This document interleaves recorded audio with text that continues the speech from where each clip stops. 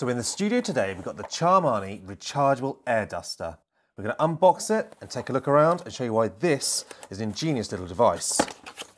So opening the box, first things first, we have a USB-A to USB-C because obviously this is a rechargeable air duster. We have multiple attachments for the ends. There's five in total an instruction booklet, and then the air duster itself. Now, as I mentioned, this is a rechargeable air duster. We've got a USB-C port on the back, so we can plug in our cable to charge it. And it's got a 6,000 milliamp battery in this device, enough power for 30 to 40 minutes of air dusting.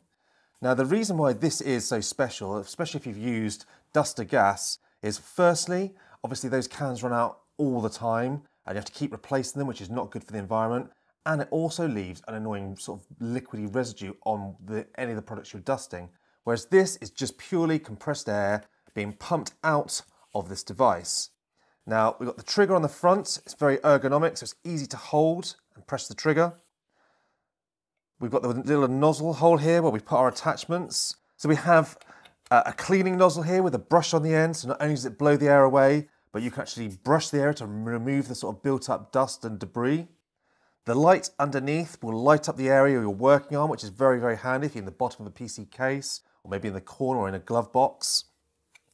We also have a very compact attachment there. So again, if you're in a very tight nook or cranny, so get right in there and focus that air. We have another one here, which is not only could be useful for blowing up an airbed, but is also provides maybe a bit of an extra extension if you need it for the brush arm. Plus we have these other two inflation devices here, again for swimming inflatables or swimming pools. So a nice handy selection of accessories. So now let's see how it actually works. To turn on the device, you hold down the trigger for three seconds and it will immediately fire up the actual motor pumping out the air. Now I'm going to do this now. Uh, it is going to be quite loud, so I'm going to stop speaking. Now, once you've turned the device on, you have three stages of adjustment. So you just push the trigger to cycle through them and the final one turns it off but puts it in a standby mode and to fully turn off the device again you hold it until it turns off itself. So here we go.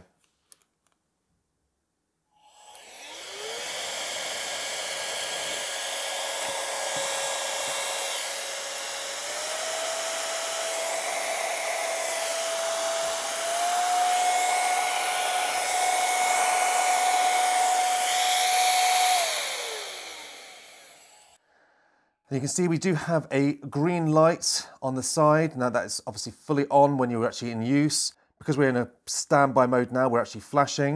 And if we hold the trigger down for a couple of seconds, it puts it into its full off mode. And then actually the light will turn off.